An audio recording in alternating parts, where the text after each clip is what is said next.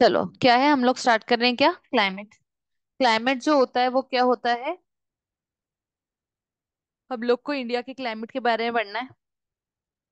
सबसे पहली चीज़, जो हम लोग को पढ़नी है, वो क्या पढ़नी है? Difference between weather and climate आप समझो वेदर क्या होता है? रोज रोज बदलता है। क्लाइमेट क्या रहता है? लॉन्ग पीरियड के लिए रहता है। यानी कि हम लोग जब बोलते हैं कि कोई पर्टिकुलर सीज़न आ रहा है समर विंटर रेनी तो वो किसकी बात हो रही है? क्लाइमेट की बात हो रही है। और हमने कहा, आज सनी है, आज ठंड ज़्यादा है, कल ठंड कम थी, आज हवाएँ चल रही है। तो वो हम लोग किसकी कहानी बोल रहे हैं? वेदर की। तो जब हमको वेदर को डिफाइन करना होता है तो तीन शब्द याद रखने कौन से? State of atmosphere. क्या याद रखना है? State of atmosphere at a given point of time. ठीक है तो वेदर सनी हो सकता है, ड्राई हो सकता है, ह्यूमिड हो सकता है, शॉर्ट ड्यूरेशन के लिए होता है और स्मॉल एरिया के लिए होता है। ठीक है, यही बात क्लाइमेट की करे तो ये क्या होता है? एवरेज वेदर कंडीशन होती है over a period of time. ठीक है ना? Over a period of time मतलब इन तीन महीने वेदर ऐसा ही रहेगा। ऐसा हम लोग कब से देख रहे हैं? पिछले चालीस सालों से देख रहे हैं। ठीक है ना? कि ये जो तीन मंथ्स होते हैं, इधर पे इतना इतना ऐसा ऐसा वेदर होता है। तो क्लाइमेट जो होता है, वो लॉन्ग ड्यूरेशन के लिए होता है और एक लार्जर एरिया के लिए होता है।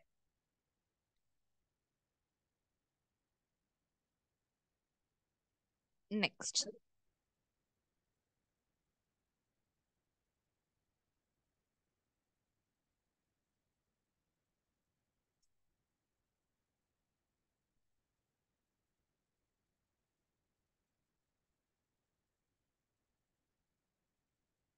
नेक्स्ट चीज़ जो हम लोग को देखनी है, वो देखनी है what are the factors affecting climate of a place ठीक है ना? कि एक जगह का क्लाइमेट जो होता है, वो किन किन फैक्टर से क्या अफेक्ट होता है? अफेक्ट होता है। तो हमने कहा लैटिट्यूड लैटिट्यूड मतलब आप इक्वेटर से कितनी पास हो, कितनी दूर हो? ऑल्टीट्यूड ऑल्टीट्यूड मतलब height above the sea level आप पहाड़ों पे होगे तो ठंड ज़्यादा होगी, आप लैट इधर पे होगे प्लेटू पे होगे या प्लेन पे होगे तो ठंड कम होगी। डिस्टेंस फ्रॉम द सी ठीक है? Ocean currents relief features pressure and wind system तो सबसे पहली चीज़ क्या है? लैटिट्यूड लैटिट्यूड मतलब क्या? आप इक्वेटर की कितनी पास में हो। अगर आप इक्वेटर की बहुत ज़्यादा पास हो तो आपको कैसा क्लाइमेट एक्सपीरियंस होगा? Hot and wet climate hot hot and wet climate जैसे आप इक्वेटर से दूर जाते जाओगे तो सन की रेस क्या होती जाएगी? स्लैंटिंग होती जाएगी और सन की रेस स्लैंटिंग होती जाएगी। इस वजह से क्या होगा? ठंडी बढ़ती जाएगी। जितना जितना इक्वेटर से दूर, उतना ठंड ज़्यादा। इंडिया की बात करें, इंडिया की बात करें तो इंडिया से ट्रॉपिक ऑफ़ कैंसर पास होता है। कौन पास होता है? ट्रॉपिक ऑफ़ कैंसर कहाँ से? रन ऑफ़ कच्छ मतलब हम इक्वेटर से बहुत ज़्यादा दूर नहीं है। तो हमारी कंट्री में ट्रॉपिकल क्लाइमेट भी होता है और सब ट्रॉपिकल क्लाइमेट भी होता है। ट्रॉपिकल क्लाइमेट मतलब जो इंडिया का रन ऑफ़ कच्छ है, जहाँ से क्या हो रहा है? ट्रॉपिक ऑफ़ कैंसर पास हो रहा है। उसके नीचे वाला पार्ट जो है, वहाँ पे ट्रॉपिकल क्लाइमेट रहेगा, क्योंकि इक्वेटर के जस्ट ऊपर वाला पार्ट क्लाइमेट को हम लोग क्या बोलते हैं? ट्रॉपिकल और रन ऑफ़ कच्छ के ऊपर, यानी कि ट्रॉपिक ऑफ़ कैंसर के ऊपर हमारे पास सब ट्रॉपिकल क्लाइमेट रहेगा। ठीक है ना? फिर सेकेंड है ऑल्टीट्यूड तो ऑल्टीट्यूड वही है, जैसे हम लोग हाइट पे जाते जाएँगे तो एटमॉस्फेयर क्या होता जाएगा? ठंडा होता जाएगा। और हमारे यहाँ, अगर हम लोग इंडिया में हाइट की बात करें तो हमारे यहाँ हाइट जो है वो कभी कभी तो as low as thirty metre है कोस्टल एरियाज़ में बहुत ज़्यादा हाइट है ही और जो हमारे पहाड़ है, वो छह हज़ार मीटर से भी ऊपर है।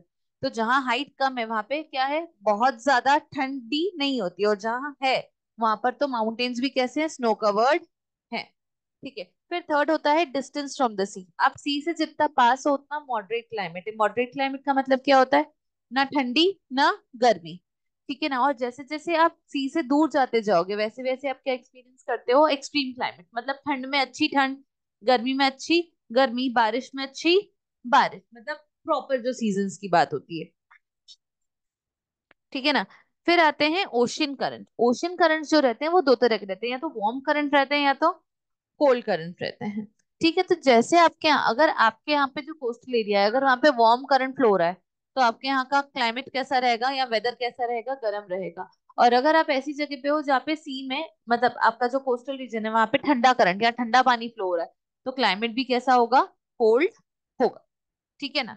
इसके अलावा रिलीफ फीचर्स रहते हैं। रिलीफ फीचर जैसे हमारे हिमालयन माउंटेन्स है तो जो एशियन प्लेटू है, जो ऊपर का एशिया प्लेटू है तिब्बत है नेपाल है चाइना है, इधर पे बहुत ठंडी हवाएँ चलती है ठंड के टाइम तो क्योंकि हमारे हिमालयाज हैं तो वो क्या करते हैं एज बैरियर्स एक्ट करते हैं, कि वहाँ की ठंडी हवा हमारे इधर पर नहीं है अगर वहाँ की ठंडी हवा हमारे इधर पे आ गई तो क्या हो जाएगा, हमारे यहाँ टेम्परेचर बहुत ज़्यादा गिर जाएँगे। ठीक है तो इस तरीके से क्या होता है रिलीफ फीचर्स अफेक्ट करते हैं किस चीज़ को? आपके क्लाइमेट को। जैसे हमारे वेस्टर्न घाट्स हैं तो वेस्टर्न घाट्स की एक साइड पे घाट होने की वजह से इतनी बारिश होती, इतनी ज़्यादा बारिश होती, बहुत ज़्यादा बारिश होती है। और वही घाट की दूसरी साइड तक जब तक बारिश पहुँचती है तो क्लाउड क्या होते हैं? उनको हल्का होना रहता है। तो वो बहुत सारी बारिश नहीं दे पाते तो दूसरा साइड क्या होता है? लीवर्ड साइड सूखा या ड्राई ही रह जाता है। ठीक है नेक्स्ट है pressure and wind system pressure and wind system मतलब कब, कहाँ, कौन सी हवाएँ चल रही है? इस बात से फ़र्क पड़ेगा क्या कि वहाँ का क्लाइमेट और एटमॉस्फेयर कैसा होगा। क्लियर है? अब जब हम लोग प्रेशर और विंड सिस्टम की बात करते हैं तो हम लोग को यहाँ पर दो चीज़ें पढ़नी है कि इंडिया जो है वो नॉर्थ ईस्टर्ली विंड्स के रीजन में क्या करता है, लाया करता है और ये जो है, ये कहाँ लाया करती है? सब tropical high pressure belt of the northern hemisphere देखो, जब हम लोग प्रेशर और विंड सिस्टम्स की बात करते हैं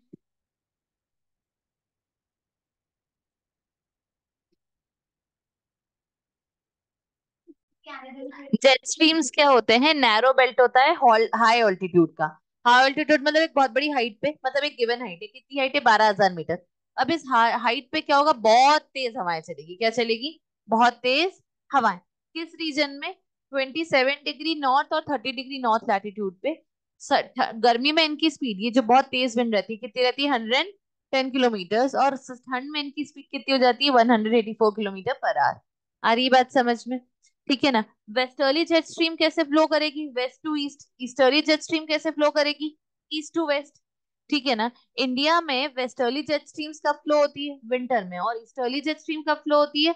समर में। ठीक है? और वेस्टर्ली जेट स्ट्रीम्स की वजह से हमारे यहाँ रेनफॉल स्नेफॉल होता है, जो नॉर्थ और नॉर्थ वेस्टर्न इंडिया में होता है। और ईस्टर्ली जेट स्ट्रीम्स में हम लोग को क्या होता है? ट्रॉपिकल साइक्लोन्स हम लोग क्या करते हैं? एक्सपीरियंस करते हैं। ठीक है? तो ये क्या है हमारी जेट स्ट्रीम्स जेट स्ट्रीम्स के अलावा एक छोटा सा कंसेप्ट होता है सदन ऑसिलेशन सदन ऑसिलेशन क्या होता है? जब सदर्न पैसिफिक ओशन पे हाई प्रेशर होता है, तब ईस्टर्न इंडियन ओशन पे क्या रहता है? लो प्रेशर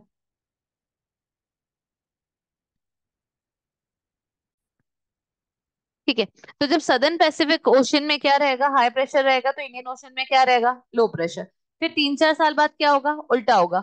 पैसिफिक ओशन में लो प्रेशर रहेगा इंडियन ओशन में क्या रहेगा? हाई प्रेशर रहेगा।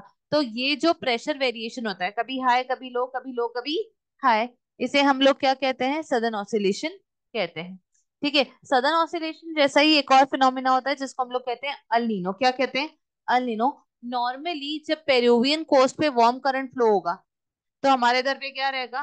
कोल्ड करंट और फिर दो तीन साल बाद क्या, दो से पाँच साल बाद क्या होगा? पेरुवियन कोस्ट पे कोल्ड करंट फ्लो और हमारे यहाँ क्या फ्लो होगा वार्म करंट ठीक है? बोलो, कोई परेशानी? तो ये क्या है तुम्हारे? कुछ फिनोमेना है relating to pressure and winds जिसको हमने क्या कवर किया? जेट स्ट्रीम्स कवर किया। और ये अल सदर्न ऑसिलेशन और ये सारी चीज़ें, ठीक है? अब आती है कहानी तुम्हारी चार सीज़न की। तो सबसे पहले हम लोग बात करते हैं किसकी? कोल्ड वेदर सीज़न की। ठीक है कोल्ड वेदर सीज़न कब स्टार्ट होता है? मिड नवंबर में स्टार्ट होता है। ठीक है, कब तक चलता है? फेब्रवरी तक। दिसंबर और जनवरी क्या होते हैं? कोल्डेस्ट मंथ्स होते हैं। इस टाइम पे भी चेन्नई में जो एवरेज टेम्परेचर रहता है, वो 24 डिग्री से 25 डिग्री सेल्सियस रहता है। मतलब कोई चेन्नई में असली ठंड नहीं आती कि बंदे ठंड ठंड ठंड करें। लेकिन इसी टाइम पे क्योंकि चेन्नई क्या है? कोस्ट पर है। तो कोस्ट पे हमेशा क्या रहता है? मॉडरेट क्लाइमेट रहता है। ठंड में ठंडी नहीं होती, गर्म में, गर्मी में गर्मी नहीं होती ह्यूमिडिटी साल भर रहती है। ठीक है ना? हिमालयाज में इस टाइम पे क्या होती है? स्नोफॉल होती है नॉर्दर्न इंडिया में क्या रहती है? फ्रॉस्ट रहती है। कोल्ड वेदर सीज़न का एक इंपॉर्टेंट फीचर होता है, जिसको हम लोग कहते हैं महावत। एग्ज़ाम में महावत पूछा जाता है। तो महावत क्या होता है? तो हमने कहा महावत बेसिकली क्या होता है? विंटर रेनफॉल होती है, जो कहाँ होती है? बहुत सारे रीजन में होती है, जो बहुत ज़रूरी होती है किसके लिए? राबी क्रॉप्स के लिए। किसके लिए ज़रूरी होती है? राबी क्रॉप्स के लिए। और विंटर सीज़न में वेस्टर्न और नॉर्थ वेस्टर्न इंडिया में साइक्लोनिक डिस्टर्बेंसेस भी आते हैं। ठीक है। एग्ज़ाम में क्वेश्चन आता है why does Tamil Nadu receive winter rainfall तो तमिलनाडु में बारिश कब होती है? नवंबर में। कब होती है? नवंबर में। तो एग्ज़ाम में क्वेश्चन क्या था कि तमिलनाडु में विंटर रेनफॉल क्यों होती है? तो हमने कहा तमिलनाडु में विंटर रेनफॉल इसलिए होती है क्योंकि उस टाइम पे नॉर्थ ईस्ट ट्रेड ब्लो होती है सी टू लैंड तो वो सी से सारा क्या करेगी? मॉइस्चर उठाएगी और लैंड पे आएगी। लैंड पे कहाँ पर? तमिलनाडु। और वहाँ पे सारी बारिश गिरा दी। ठीक है? फिर आते हैं हॉट वेदर सीज़न पे। जब हम लोग हॉट वेदर सीज़न पे आते हैं तो हॉट वेदर सीज़न इंडिया में कब से कब तक होता है? मार्च टू मई मार्च में डेकन प्लेटू में टेम्परेचर कितना होता है? Thirty eight degree Celsius April में गुजरात में और एमपी में टेम्परेचर कितना बढ़ जाता है? फोर्टी टू डिग्री सेल्सियस और मई में नॉर्थ वेस्ट इंडिया में टेम्परेचर कितना हो जाता है? फोर्टी फाइव डिग्री सेल्सियस ठीक है हॉट वेदर सीज़न का एक बहुत इंपॉर्टेंट फीचर होता है लू। सुना होगा सबने। लू क्या होती है? हवाएँ रहती है, बहुत गर्म स्ट्रॉन्ग ड्राई विंड्स होती है, जो दिन के टाइम पे फ्लो होती है नॉर्थ और नॉर्थ वेस्टर्न इंडिया में। और अगर आप डायरेक्टली एक्सपोज हो जाओगे किससे? लू से। तो आपके लिए ये जानलेवा भी हो सकती है। इट में इम्प्रूव पैटर्न ठीक है ना? फिर आती है कहानी किसकी? काल बैसाखी। फिर किसकी कहानी आती है? काल बैसाखी। ठीक है, काल बैसाखी भी किसका फीचर है? हॉट वेदर सीज़न का किसका फीचर है? हॉट वेदर सीज़न का। प्राइमरीली कहाँ पर? वेस्ट बंगाल में। थंडर स्टॉर्म्स आते हैं मतलब समझते हो? तूफ़ान। बहुत तेज हवाएँ चलती है। टोरेंशियल रेन्स मतलब बहुत भयंकर, बहुत तेज बारिश होती है। अकम्पनीड बाय हेल हेल मतलब कभी कभी ओले भी गिरते हैं। जो नुकीली बर्फ़ होती है ना, वो। आ रही बात समझ में? और हॉट वेदर सीज़न का ही एक बहुत अच्छा फीचर है, जिसको हम लोग क्या कहते हैं मैंगो शावर्स तो काल बैसाखी, लू मैंगो शावर्स ये छोटी छोटी चीज़ों पे महावत, इन पे एग्ज़ाम में क्वेश्चन आते हैं. तो मैंगो शावर्स क्या होते हैं? Towards the close of summer season जब समर सीज़न क्या होता रहता है? खत्म होता रहता है. तो प्री मानसून शावर होते हैं. मतलब बारिश से आने से पहले वाली बारिश होती है, जो केरला और कर्नाटका में पड़ती है, जो बहुत ज़रूरी होती है, क्योंकि ये किस चीज़ में हेल्प करती है? राइपनिंग ऑफ़ मैंगोज आम को पकने में ये बहुत हेल्प करती है और इसलिए इनको नाम कर दिया हम लोगों ने मैंगो शावर्स ठीक है? तो ये किसकी कहानी थी हमारी? हॉट वेदर सीज़न की और कोल्ड वेदर सीज़न की.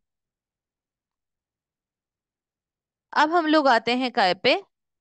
ऑनसेट ऑफ़ मॉनसून और रिट्रीट ऑफ़ मॉनसून मतलब बारिश आती कैसे है और बारिश जाती कैसे तो पहली बात हमारे यहाँ जो मॉनसून होता है वो इंडियन पेनिनसुला के सदर्न टिप को कब टच करता है? फ़र्स्ट वीक ऑफ़ जून में। कब करता है?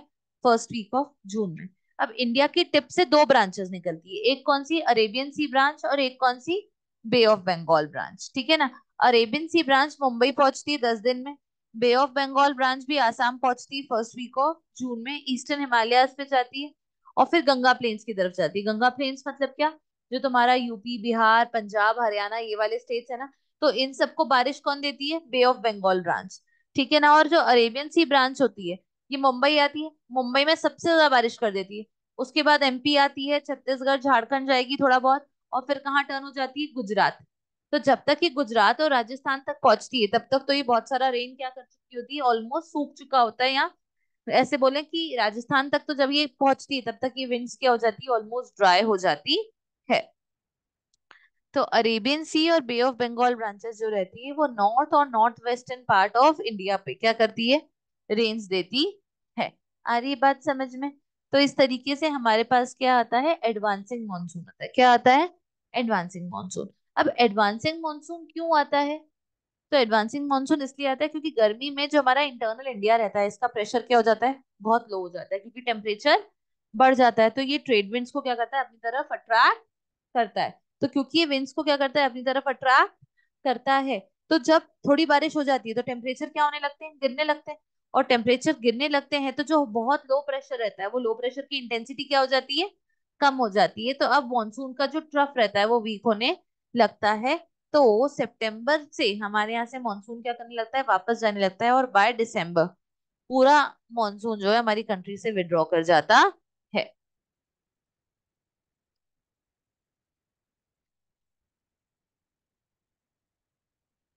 ठीक है नेक्स्ट देखो, हमारे यहाँ सबसे ज़्यादा हेवी रेनफॉल कहाँ होती है? 400 सेंटीमीटर ज़्यादा वेस्टर्न कोस्ट में और north east India western coast मतलब western side of western Ghats जिसको हम लोग windward side of western Ghats भी कहते हैं।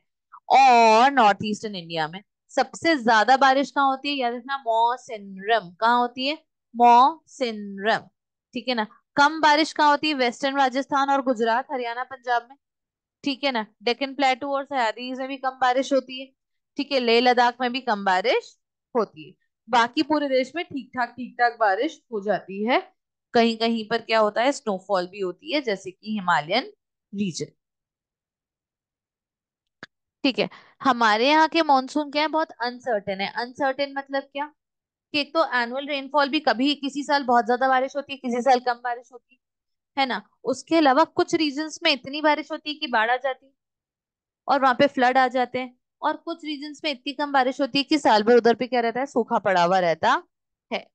ठीक है, बोलो, कोई परेशानी? आगे जाए।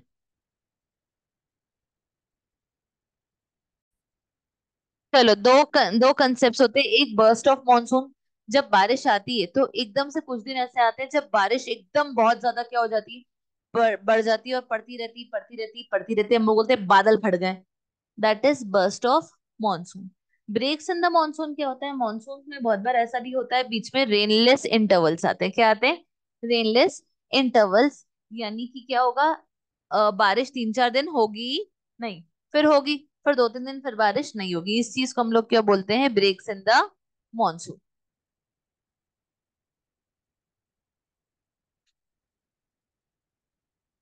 ठीक है लू हम लोगों ने कर लिया है विड्रॉल ऑफ़ मॉनसून हम लोगों ने कर लिया है। एग्ज़ाम में आता है कि हमारे यहाँ जो मॉनसून है या हमारे यहाँ का जो क्लाइमेट है, वो बहुत क्या है? वियर्ड है। वियर्ड है मतलब क्या?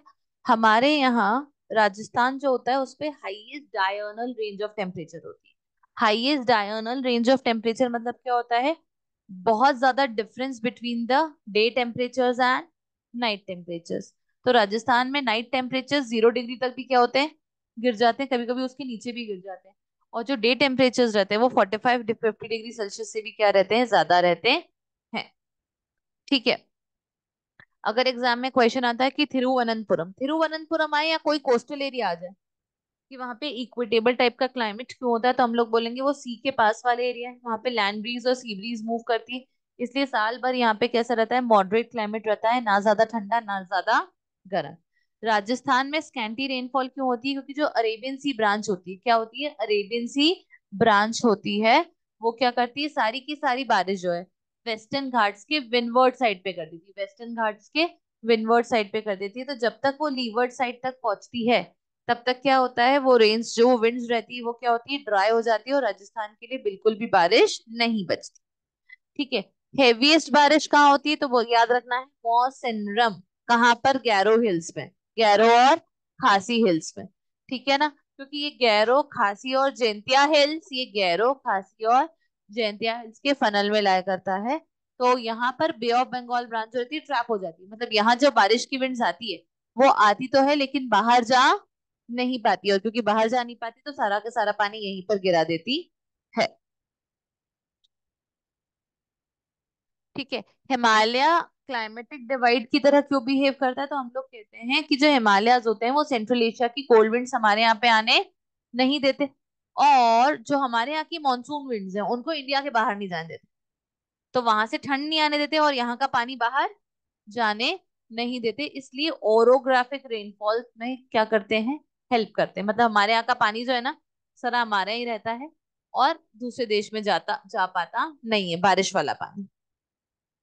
ठीक है। Why is Kolkata rainier in June unlike शिनोल which is rainier in June than in July Kolkata में जुलाई में बारिश क्यों होती है और शिलोंग में जून में क्यों होती है? तो हम लोगों ने बोला कि जो बे ऑफ़ बंगाल ब्रांच होती है, वो ईस्ट टू वेस्ट चलती है। तो वो जब इंडिया आती है तो वो जून में आती है। तो क्योंकि शिलोंग ईस्ट में है तो उसमें जून में ज़्यादा बारिश होती है और कोलकाता थोड़ा सा वेस्ट में है तो उधर पे वेस्ट में ज़्यादा बारिश होती है। सेम कहानी है दिल्ली और जोधपुर वाली। ठीक है। इंडिया के क्लाइमेट को मॉनसून टाइप ऑफ़ क्लाइमेट बोलते हैं? क्योंकि मॉनसून मतलब होता है सीजनल रिवर्सल ऑफ़ विंड तो हमारे यहाँ पहले क्या फ्लो होता है? South west trade winds flow blow होती है और बाद में कौन सी होती है? नॉर्थ ईस्ट ट्रेड विंड्स तो विंड का डायरेक्शन क्या होता है? पीरियोडिक टाइम में क्या रहता है? चेंज होता रहता है। Why does Tamil Nadu receive winter rainfall तुमको बता दिया अक्टूबर हुई एग्ज़ाम पॉइंट ऑफ़ व्यू से बहुत इंपॉर्टेंट है। जैसे जैसे मॉनसून रिट्रीट होता है तो जो मंथ ऑफ़ अक्टूबर रहता है, उसमें क्या होता है? दिन के टेम्परेचर बहुत हाई होते हैं। क्लाइमेट बहुत बेकार होता है ह्यूमिडिटी भी थोड़ी बहुत रहती है तो बहुत गंदा टेम्परेचर ऑप्रेसिव टेम्परेचर रहता है। ठीक है ना? लेकिन रात में नाइट जो रहती है, वो बहुत कूल और प्लेजेंट होती है। इस तरह के, की क्लाइमेट को हम लोग क्या कहते हैं? अक्टूबर हीट लास्ट क्वेश्चन जो एग्ज़ाम पॉइंट ऑफ़ व्यू से बहुत इंपॉर्टेंट है वो है how does monsoon act as a unifying bond तो हमने कहा, हमारा यहाँ से जो मॉनसून होता है, वो हमारे पूरे देश को क्या करता है यूनाइट करता है, क्योंकि जैसा seasonal alteration of wind system India में है, कि विंड्स क्या करती है रेगुलर इंटरवल पे रिवर्स होती है, वैसा कहीं और नहीं। और वैसा कहीं और नहीं है इसलिए इंडिया ही एक ऐसा देश है, जहाँ पर आपको बहुत रिदमिक साइकिल ऑफ़ सीज़न मिलती है। रिदमिक साइकिल ऑफ़ सीज़न मतलब हमारे यहाँ सालों साल पता है कि ये चार महीने क्या रहेंगे गर्मी रहेगी, ये चार महीने क्या रहेगी तीन महीने क्या रहेगी, ठंडी रहेगी, ये तीन महीने बारिश रहेगी। ऐसा रिदमिक ऐसा बहुत पैटर्न किसी दूसरे देश में दिखता नहीं है। तो हमारे यहाँ की जो रेनफॉल है वो अनइवन है अनसर्टन है, ये भी हमारे मॉनसून का ही कैरेक्टरिस्टिक है। तो हमारा लैंडस्केप हमारी प्लांट लाइफ हमारे एनिमल्स हमारा एग्रीकल्चरल कैलेंडर सब कुछ हमारे मॉनसून के आसपास घूमता है। इसीलिए हमारे यहाँ की जो लाइफ होती है, हमारे जो फेस्टिवल्स होते हैं, ये भी सब क्या होते हैं? मॉनसून पे डिपेंड करते हैं। इसलिए साल ईयर बाय ईयर हम लोग क्या करते हैं?